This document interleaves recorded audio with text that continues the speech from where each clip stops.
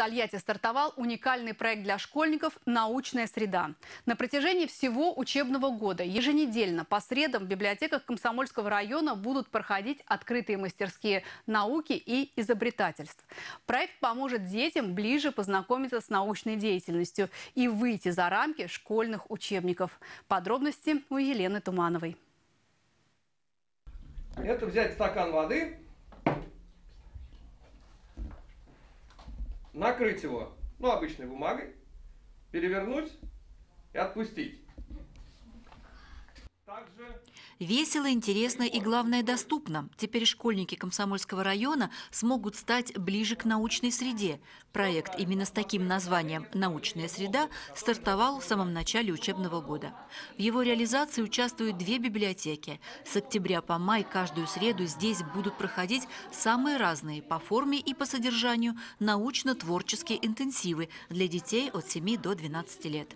Здесь их ждут знакомства с научными бестселлерами, интеллектуальные игры, новые навыки и компетенции. Проект «Научная среда» позволит выйти за рамки школьных учебников и показать, что наука – это не скучно, и в ней есть большая доля творчества. Детские библиотеки и продвижение научных знаний, они сейчас уже настолько неразрывны, что ну, для тольяттинских библиотек это уже норма. Э, в наших библиотеках очень много клубных образований, которые как раз продвигают научные знания. Это и мастерские э, технического творчества, э, где дети занимаются моделированием, техникой. То есть это вполне нормальная такая вот тоже традиция, и родители, и дети к этому привыкли.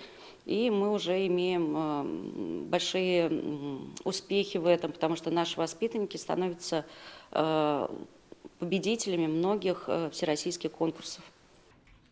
Толятинское объединение детских библиотек с проектом «Научная среда» стали победителями в конкурсе социальных инициатив «Химия добра», который реализуется корпорацией «Тольятти Азот». Это грантовая программа, которую мы запустили в 2019 году и сейчас стараемся продолжать.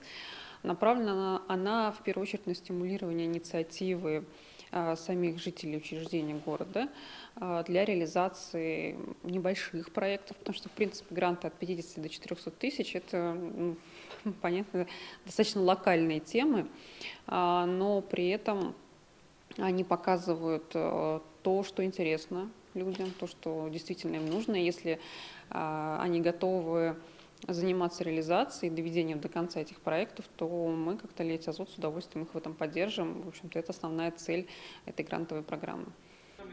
Поддержка действительно серьезная. Проект «Научная среда» получил мегагрант.